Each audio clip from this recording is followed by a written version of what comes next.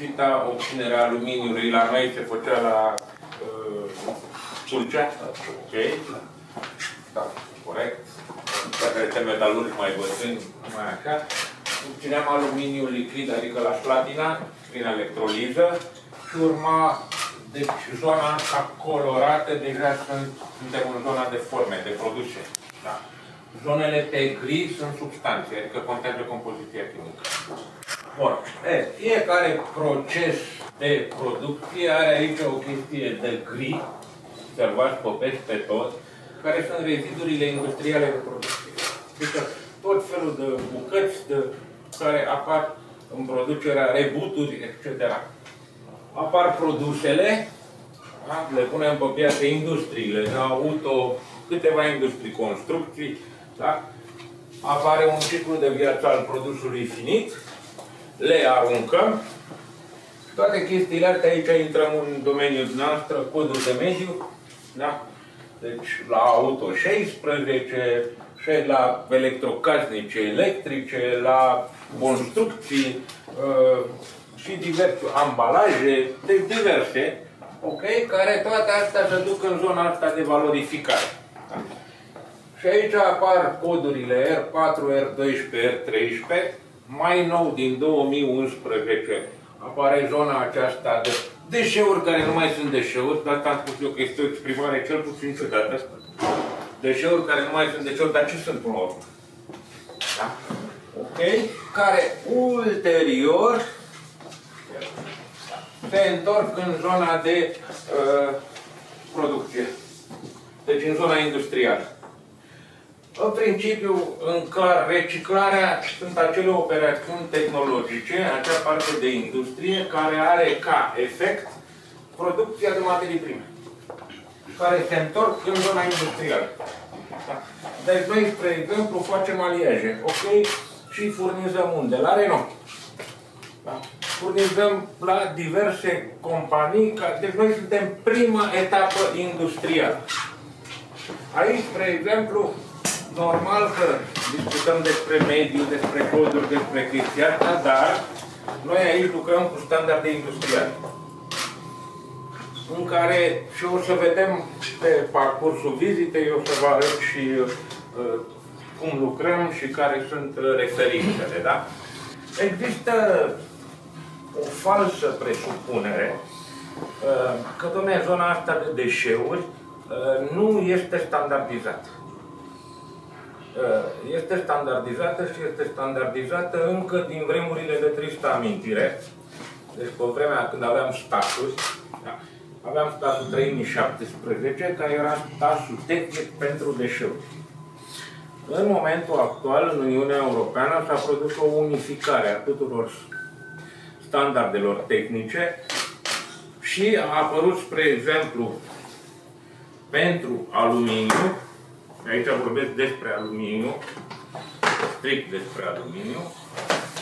Acest standard 13920 aceste standarde toate sunt patronate de către ASRO. Sunt inclusiv standarde de colectare, inclusiv standarde de, uh, de standarde, repet, tehnice. Da? Deci sunt referințe efectiv tehnice. Uh, noi uh, în Asmetal am făcut, colegii mai vechi.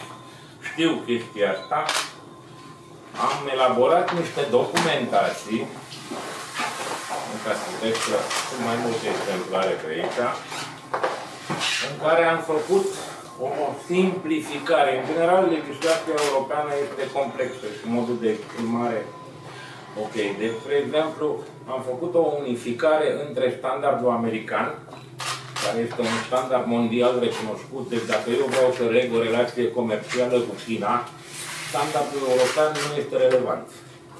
În schimb, standardul american, da. Aveți acolo în prima parte, spre exemplu, stand, definiția din standardul american, standardul european și codurile din uh, codurile de mediu. Mai departe sunt câteva uh, expuneri privind condiții tehnice, așa, și inclusiv fotografii. Am făcut lucrul ăsta pentru a ușura munca celor care aplică aceste lucruri. De? Și ca să fie foarte ușor uh, perceptibil. Deci este un instrument de lucru pe care noi îl folosim.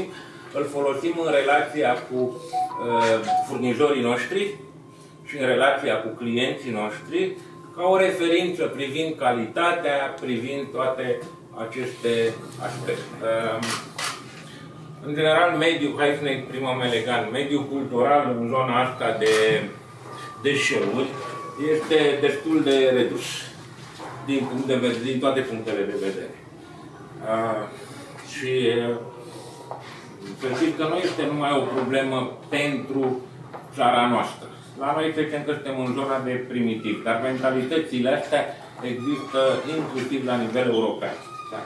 Deci este o lume destul de dură din punctul ăsta de vedere uh, și cu fiind o industrie de rulaj de chestia asta, aici există foarte, foarte multe riscuri din foarte multe puncte de vedere. Spre exemplu, că ați auzit niște scandale undeva până la bursă, s-a livrat nichel și în containere erau pietre acceptate de depozit. Adică lucrurile nu sunt uh, numai la noi o problemă, sunt în general, în sfera asta de activitate. Uh, activitatea noastră, din punctul ăsta de vedere, este ingrată. Deci suntem cu o parte într-o zonă destul de sălbatică, să zicem așa, în cealaltă parte avem case auto. Adică și cerințe de calitate și cerințe de livrare just in time și o grămadă de lucruri. Și atunci presiunea pe genul nostru de activitate este destul de mare. Uh, sistemele de asigurare a calității care există în industria auto, deci fiecare client din industria auto, cam 2 ani de zile durează omologarea. Spre exemplu, cu Dacia Pitești, am început în 2008 și am devenit furnizori pe cel mai jos nivel calitativ în 2010. Și cred că am avut cel puțin 15 auditări. Pentru verificări, pentru zona de calitate, pentru laboratoare, pentru măsurători, pentru încercări. Fiecare client de tipul ăsta înseamnă cam un an, doi ani de zile de omologare ca să fie acceptat ca furnizor. Ulterior poți intra în licitații, să oferi preț și acolo apare zona comercială. Dar nu poți intra în zona asta fără să ai aceste omologări. Da? Noi, în atâția ani de zile, suntem bine cotați. În momentul de față, după atâția ani de zile de, de, de livrări fără probleme, de conform, neconformități, etc., avem o foarte bună poziție în piața asta și lucrăm cu companii mari. Că e vorba de siderurgie, ArcelorMittal, grupurile Liberty, cam ce e în România, dar inclusiv în Europa, Germania, Italia, da exportăm uh, sunt uh, fabricanți de piese uh, în, în zona tot francez, Levelie se numesc, care sunt în zona de producție de elemente de siguranță. Deci ne referim la sisteme de frânare, ne referim la... care aici sunt o grămadă de cerințe, inclusiv trei ani de zile trebuie să ținem dovezile privind calitatea, trasabilitatea, dacă, Doamne ferește, se întâmplă ceva, să pună la dispoziție toată istoria fabricației. Dar aici vorbim de zona industrială da, și mai puțin de zona de mediu. Ceea ce am discutat cu domnul Matei a fost ca să vă arăt și să vă expun zona asta industrială. Zona de mediu, dumneavoastră o cunoașteți foarte bine. Deci nu e o problemă din punctul ăsta de vedere. Dar e interesant de văzut cealaltă parte a lunii, să zicem. Da? În chestia asta și de fapt uh, noi trăim din ce? Din valoarea metalului recuperat. Uh, noi nu, nu știu, salubritate, etc., etc. În general, oamenii ăștia primesc niște bani pentru niște servicii. Noi trăim din ceea ce reușim să recuperăm și din... Uh, este o societate comercială până, până la urmă urmei. Da? Deci cam despre asta.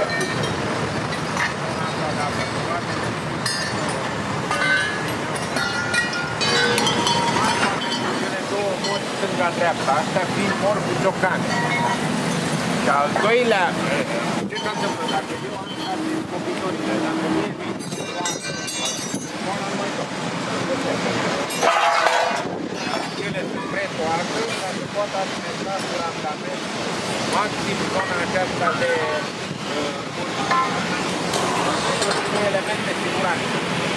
Dacă există un recipient sau ceva care nu trebuie, alea că pot să fac randament de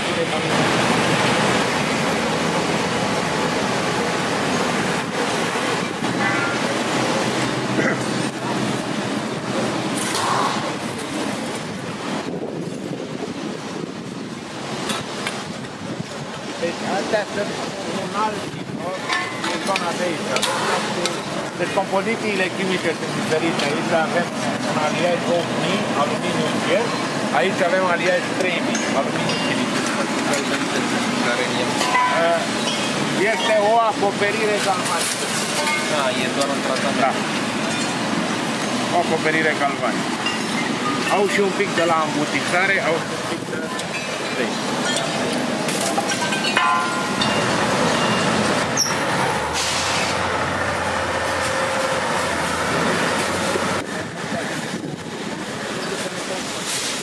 Asta este un adaug tehnologic. În momentul în care toarnă piesa, Ăla trebuie ăsta să rămână. este un filtru și ăsta Pe care îl este... dă jos. Exact. De la nu mare. Uh,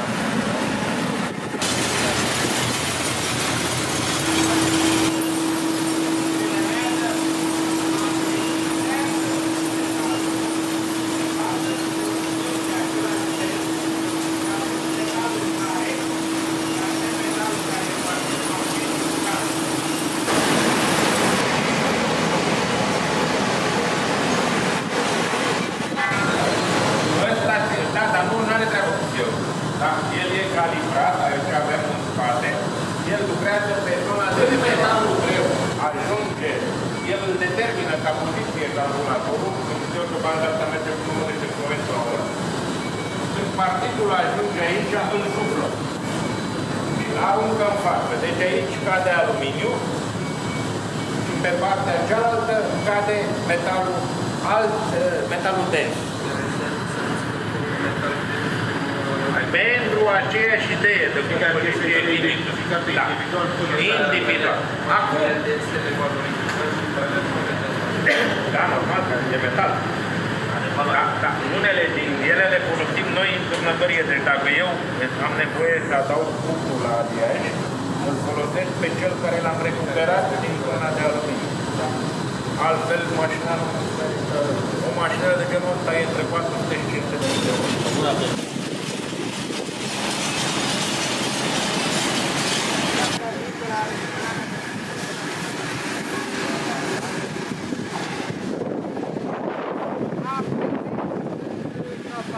Da, aici înăuntru, aici să se vede.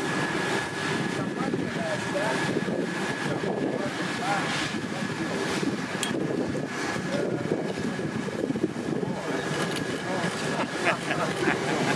În principiu avem în momentul de față instalația asta, care este o instalație nouă de instalația de mediu.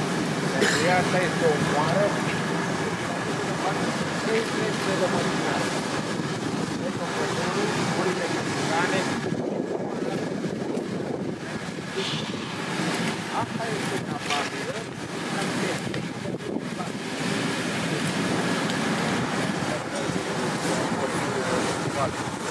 este pe cost. Ediția dată cu le bagi. care le faci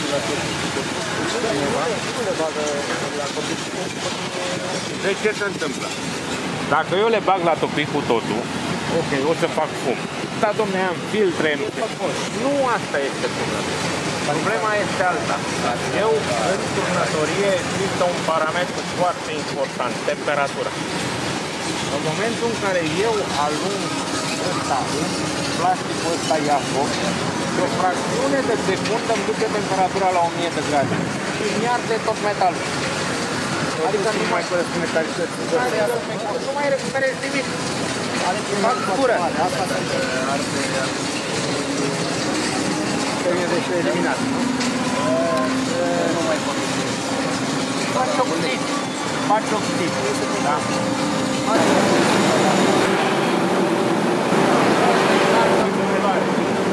Soarele au cântar de desubt. Așa fel încât eu corect randamentul. Cât am încercat, cât am turnat, cât am curantat și prin la caietele alea de sarcini, de randamentele sunt standardizate. Îmi preștează randamentul de alegere,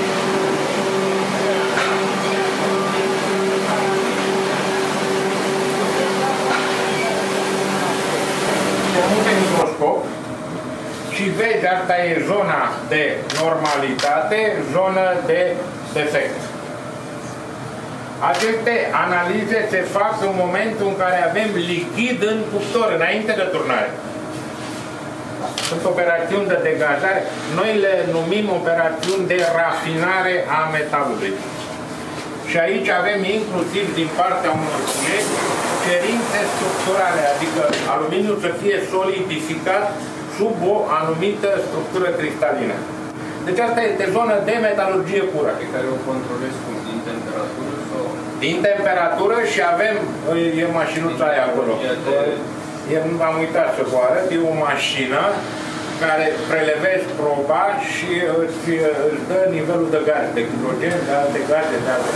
O mașină de laborator. Microscoapele, aici sunt arhivele, Da, Ce spuneați că trebuie să le ce spuneam, da, cineva date despre o șarjă de pe toate arhivele, datele, șarjele, toată treaba asta și astea sunt mostrele. Da? Dovezile, în afară de partea documentară, parte, scrie pe ea numărul de șarjă. Da? Și asta... Ele sunt standardizate, deci pentru că uh, am- dacă eu fac analiză pe lingou, s-ar putea să-mi dea niște diferențe datorită structurii cristaline de la solidificare. Asta se solidifică în niște condiții standard și îmi dă rezultatul corect. Și luați așa din... uh, Absolut. sarcare- Din fiecare șarjă se iau mostre la început de turnare, la mijloc de turnare, la sfârșit de turnare, ca să se vadă că materialul este omogen și are aceeași caracteristică pentru lotul de livrare.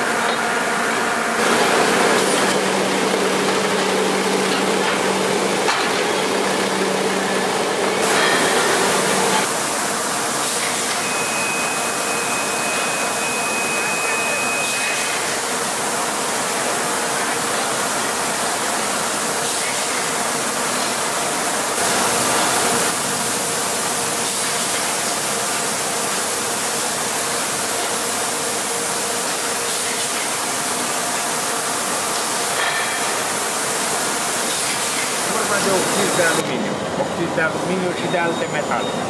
Da? Noi aici avem, am pus niște instalații ca să recuperăm aluminiu, iar în același timp am reușit prafurile cu oxizii să omologăm cu cei de la Denaris cultură artificială pentru siderurgie. Deci asta înseamnă că azi metalul nu mai generează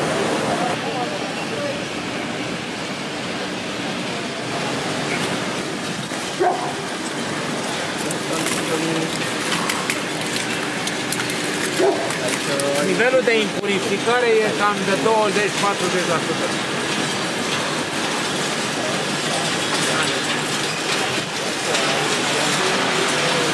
E complicat. Cum descarcă ODR-ul dacă e 40%? Teoretic, pe, teoretic, pe cantitatea care eu confirm eu proiect. și o confirmă domnul apostol, adică scade impuritățile. Face OPM. Nu. Cum dați scăzământ? Deci, treaba este în felul următor. Aici e, dar e mult de discutat. În principiu, pe spun, eu le pot băga în instalație, ok? Și măsura ce iese din instalație, ok? În momentul în care ai niște stocuri și lucrezi dintr-un anumit flux, pentru că uh, poate eu n-am nevoie de materialul ăsta pentru nu știu ce aliaj. Și îl țin pentru peste o săptămână, peste două săptămâni, da? Punctul de măsurare. Două puncte. Exact. Asta este punctul de discuție. Acum nu face nimic. Dar nu face discuția, pentru că nu face calitativă. Să vadă dacă ăsta a avut 100 de kilograme, ăsta a avut 100 de kilograme. Sau alte de Deci nimeni nu te aduce niciun kil de marfă dacă nu-i dai recepția să-și ia banii de la hotel. Da. Nu, dar scăzăminte se dau. uh, care ne eliminăm umiditatea, adică practic genul este aluminiu, iar aici, pe picioarele astea, facem probe de topire. Vedem randamentul, adică care este nivelul de recuperare și facem și compoziție chimică.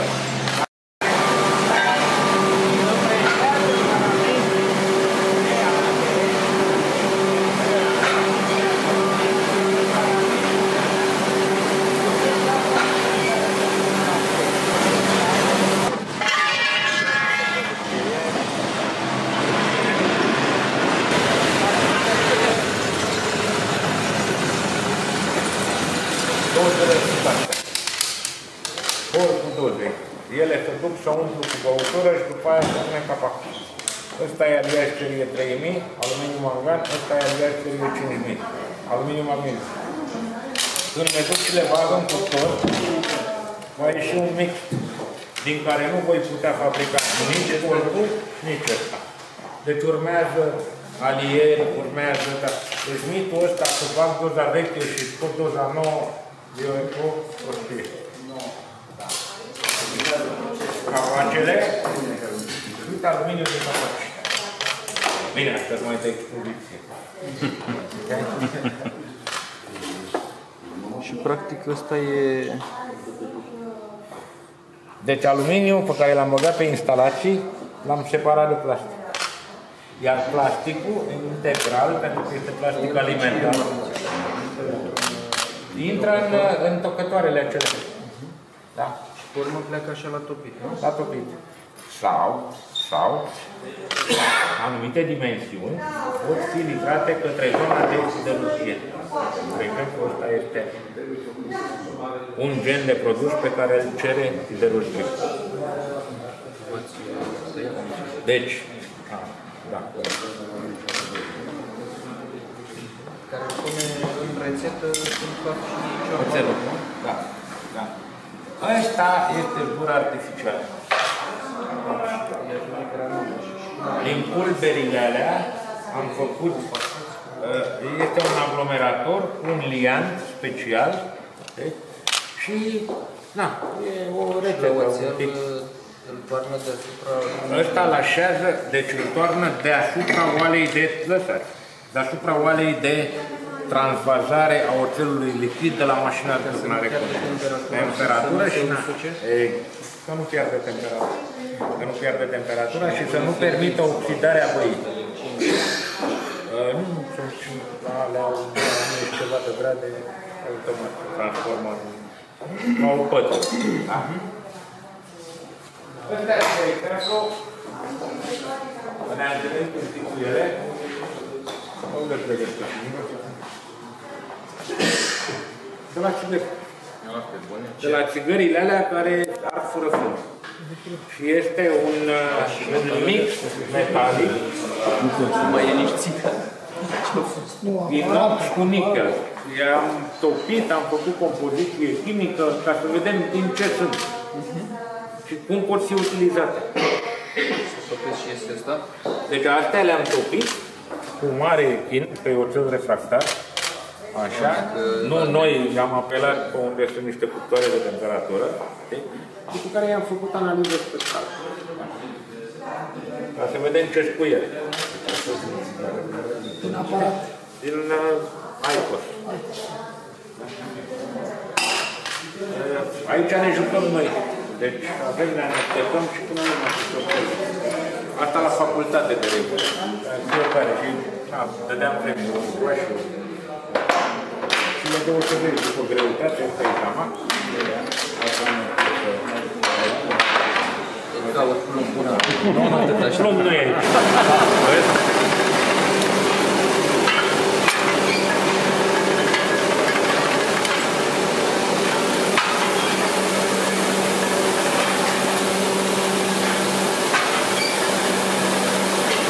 Deci, pe linia de producție de aluminiu primar, per tona de aluminiu produs.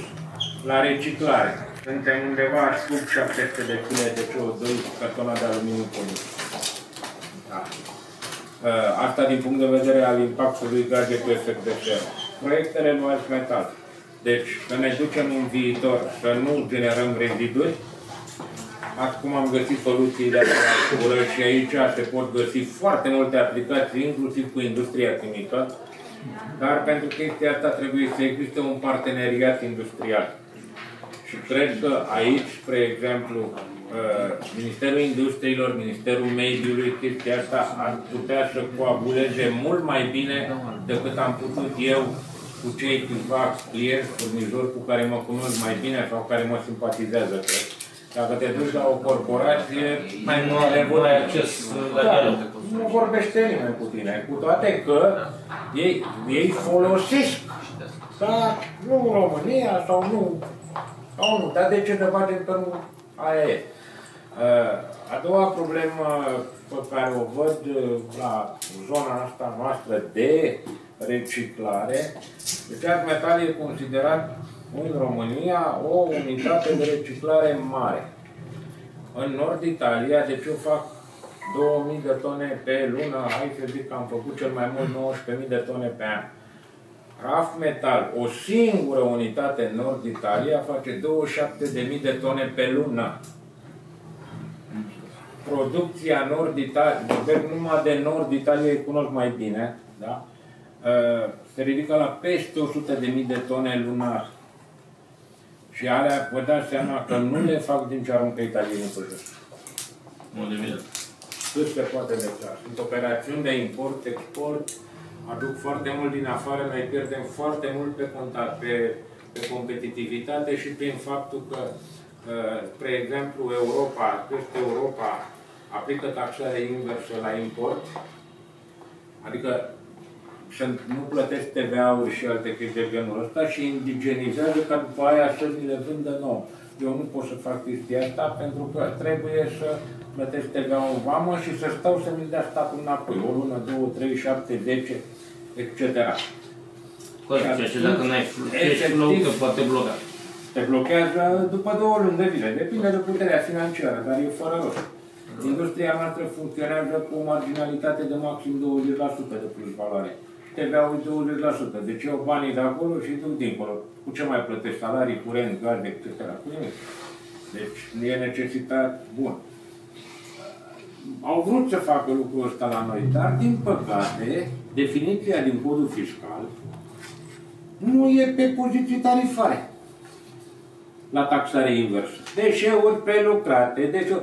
E- Și aici este o mare problemă, de, spre exemplu, în codul fiscal nu scrie nicăieri de end of waste, deșeuri care nu mai sunt deșeuri.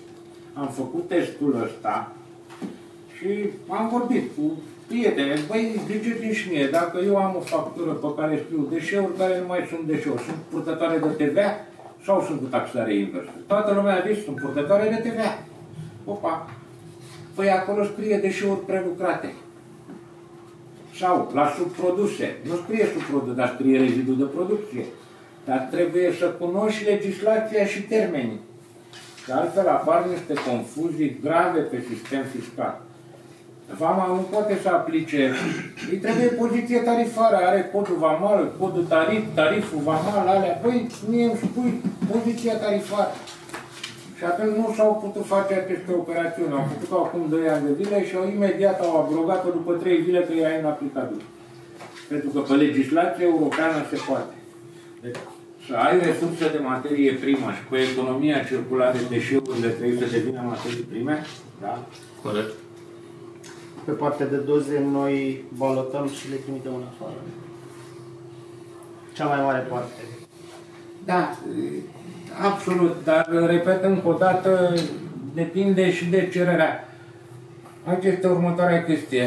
De, de, dacă există un anumit flux de deșeuri și eu nu am utilizare pentru el, Da, Dacă nu este piață pentru ceea ce faci, la Aia tine să e. procesezi, nu are valoare. exact, nu are valoare. Da. Și avem piață, că doze punem pe piață. Numai că nu avem tehnologie să le reciclăm aici, le strângem și mergem înapoi. Și unde? Avem tehnologie nu să le... vedeți. A, nu, nu, nu, scuză Avem tehnologie să le reciclăm. Urmează la nivel național și le trimite la Nobel. Mare reciclare.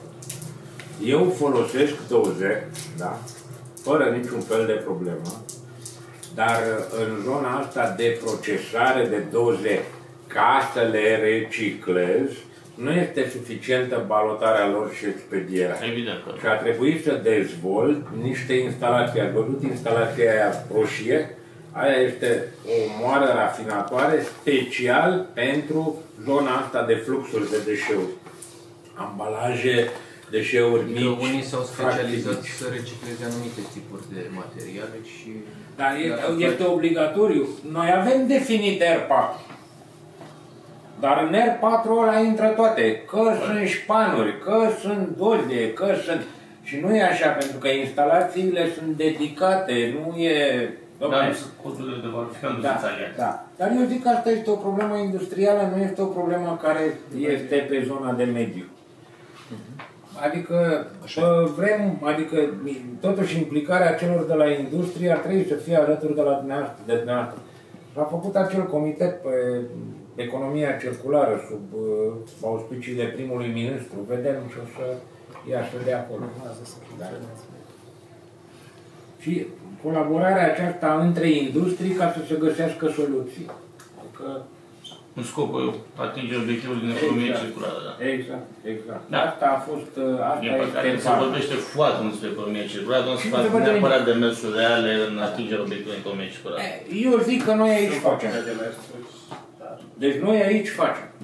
Da, doar să chiar Și sperăm să facem din ce în ce mai bine și să iasă toate, toate cât, uh, cât se poate de bine. A doua problemă, ați văzut, IMDB-ul e jos. Da. Vulcanul e jos. Da. Rezidențial. Nu știu ce va fi, apar, n-am, deocamdată tot zona industrială este, nu știu ce să spune, se discută foarte mult să mai facă o groapă de gunoi aici, nu se discută deloc să facă o platformă de reciclare. Și să se încurajeze, adică ați văzut la, la sticlă, nu avem... Deci câte integrați, câte autorizații mai avem pe București integrate? Șapte. industriale, cam 8, cam atât. Restul sunt centralele, vreo 3 institute, cam cu zi. Și una dintre ele ați văzut-o aici. Adică Industrie efectivă vreo 8, cam atât. Și Bucureștiul nu are, adică generează o grămadă de rezidu care ar putea fi... Da. Pentru ca să faci chestia asta ai nevoie de o infrastructură. Deci mă uitam față de colegii mei din Italia. Eu plătesc oxigen, îl plăteam în momentul ăla, acum s-a scumpit extraordinar, undeva la 11 cenți pe uh, metru cub. Ăia îl plăteau cu 3 cenți pe metri cub. Păi, dar de ce? Păi aveau conductă. La mine vine cu cisternă.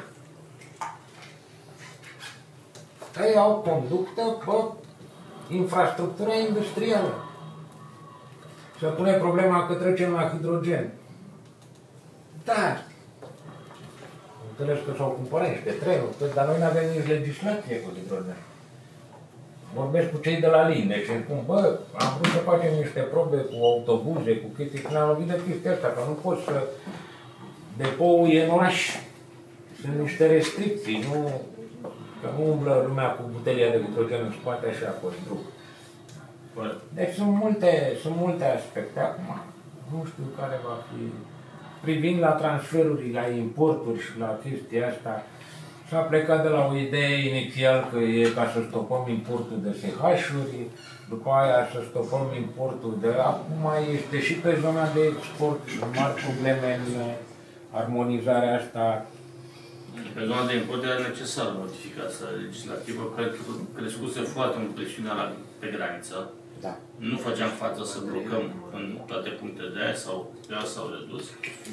Mai ales că România încă este foarte atractivă din punct de vedere al prețului de eliminare a deșeurilor. Este se poate Față lucra. de, față de Orfas. La noi costă de 10 ori mai puțin, ceea ce suntem foarte atractivi să abandonăm, să abandonăm deșeurile la noi țară. Sunt absolut de acord cu dumneavoastră. Ideea a fost Și mai e o mare problemă, faptul că în regulamentul de emitere a autorizațiilor de mediu, în anexa 12, nu sunt stabilite, nu mai sunt cum era în ordonanța 16, reguli minime tehnice de obținerea autorizației de mediu pentru cei care se ocupă cu reciclarea de deșeuri. Deci dumneavoastră în autorizație integrată aveți stocarea 25.000 de tone, dar sunt unități într-o comună care au 200 metri pătrați și în autorizație de mediu trebuie să fie tot cu 25.000 de tone, poate să fie temperatură de deșeuri. Noi am mai Da, discutat și acum aici- trei ani și acum doi ani. În, Trebuie uh, schimbat. Capacitatea Da, de producție. tehnică. Acum, uh, în legislația europeană, ori, eu am trăit uh, de 30 de ani de când există firma asta, am prins toate epocile posibile. Uh, Dacă mă întrebați pe ordonanța 11, 12, 16, toate care au Da. așa, uh, lucrurile au fost bine pentru că ăia se ocupau de zona industrială și mediul era cu partea lui de mediu și asta era o chestie super ok. Dar acele tipologii, că îți trebuie presă de 40 de tone, că îți trebuie 5 Păi, a, de a, metri a, pătrați, a fost un caz subiectiv și particular. Da, Ordonanța da, 16 pe da. 2001. Da. Da, au fost făcute pentru rematuri. Ca să... Da. Ca să aibă un monopol pe zonă. Cea care Acum- ca legea, soțul avea unul dintre cele mai mari maturi din București. Și dotarea tehnologică era exact dotarea tehnologică. Așa. Problema, e, problema este, Da. nu s-a schimbat în legislație. Acum spune A că ai dispărut. o instalație Da. care să fie autorizată. Mi se pare super ok. Nu știu, eu mâine poate inventez o chestie pe care n-a mai văzut-o nimeni și este extraordinar de bună. Deci de ce trebuie să scriu, domnule, trebuie mașina aia, mașina aia, mașina... Nu, e o instalație care se autorizează. O măsurăm, o punem, vedem ce face. ce Da, te- se pe capacitățile tehnice de procesare a ceea ce solicită Exact, titularul exact. autorizației respective. Cred că, spre exemplu, cel puțin în zona de autorizare, unde lucrez de foarte mulți ani cu domnul Stroian, uh, gândiți-vă la, adică până la urmă, uh, avem o grămadă de atestate de la Ecovadis, de la furnizori, de la o grămadă, da, care nu contează în relația cu, cu zonele, v-ar simplifica foarte mult muncă. Foarte Asta mult. spunem și noi. Ok. Mulțumim foarte mult pentru... Oricând la dispoziția noastră, totul se este scris, nu e nimic interpretabil, uite ce scrie aici, le-am lăsat uh, și pe la gardă de mai mulți ani, le-am dat. E un alt mod de lucru. Noi suntem în zona industrială. Corect, așa. Nu avem treabă cu colectarea, nu avem treabă cu... Aia e.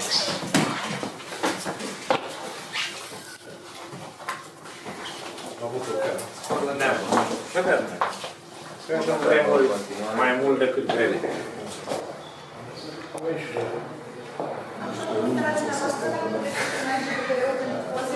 Da.